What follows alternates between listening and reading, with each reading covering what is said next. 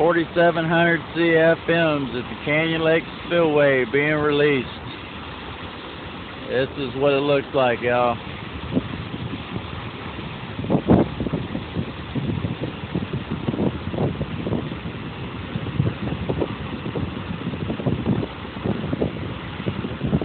Sounds like a freight train coming out of the end of this thing.